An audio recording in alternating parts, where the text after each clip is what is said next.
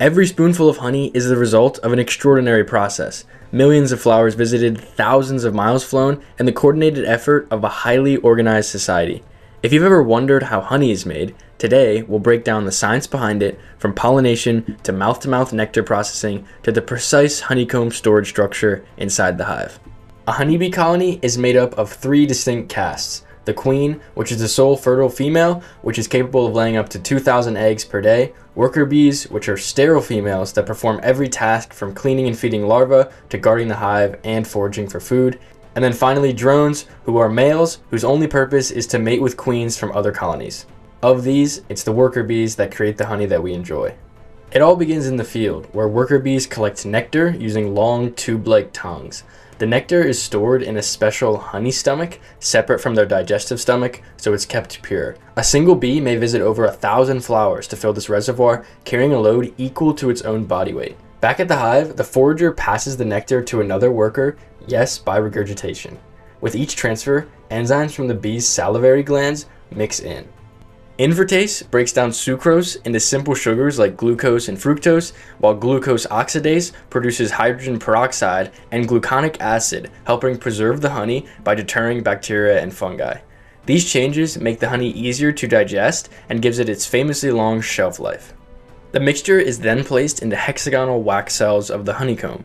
Workers fan their wings to create airflow, evaporating water from around 70% down to less than 20%. This thick, low moisture syrup is now honey. The bees then seal each cell with a wax cap, locking the honey's freshness for years, even millennia. Nectar isn't their only cargo. Bees also collect pollen, their main source of protein. Their bodies are covered in tiny branched hairs that trap pollen grains, which they brush into pollen baskets on their hind legs.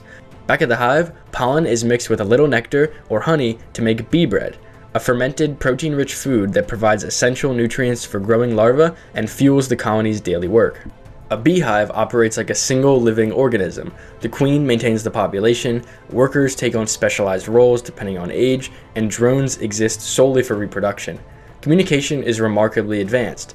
Through the famous waggle dance, a worker can tell her sisters exactly where to find nectar, using the angle of her body to show the direction relative to the sun, and the duration of her waggle to indicate distance. It is one of the most sophisticated examples of symbolic communication outside of the human world. Modern beekeeping can be sustainable when done correctly. Removable frames allow honey to be harvested without harming the bees or destroying the hive.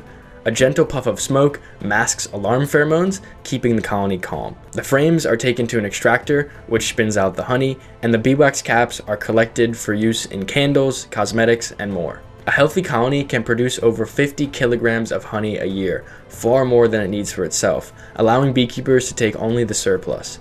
But poor practices like over-harvesting or replacing honey with low-quality sugar syrups can weaken colonies and make them more vulnerable to disease. Ethical beekeeping means always leaving the bees enough of their own honey to survive. To produce just one pound of honey, bees must visit up to 8 million flowers and fly the equivalent of three times around the earth.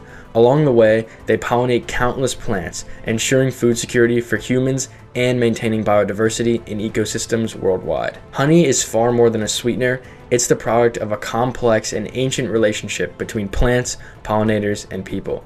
It stands as a testament to the intricate systems that sustain life on Earth and to the profound impact even the smallest creatures can have on the natural world.